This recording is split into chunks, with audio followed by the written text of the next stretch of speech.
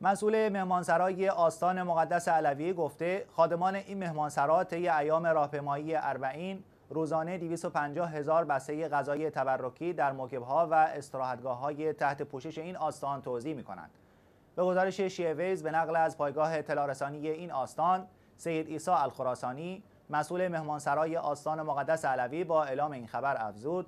بسته های غذای تبرکی طی این ایام توسط خادمان مهمانسرا آماده می شود و در موکبه ها و استراحتگاه های تحت پوشش این آستان مقدس در مناطق مختلفی از شهر نجف اشرف و جاده کربلای معلا توضیح می شود.